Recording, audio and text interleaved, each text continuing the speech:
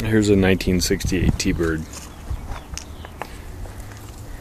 But right here you see the heater element. So this is I guess that's the output and this is the input. Goes back here. See how they've just uh, donated that? Just made it return. Because there's the heater core back there and it's empty. So those hoses are supposed to go back to that heater core. And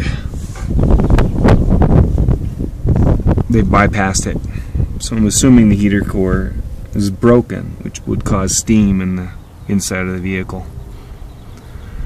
But the input is three quarter inch and the output is five eighth inch. So they've used one hose so that it's weeping. Although that's pretty tight, it doesn't look like it's fully. You know, got a good join there, so there's probably a leak. Plus the kink causing it to, to not flow. So, whether or not it's plugged or not, but it's not good, I don't think, to have parts of the engine without fluid going to it. Could overheat parts of the engine. But anyway. Other than that, you know, pretty cool old bird.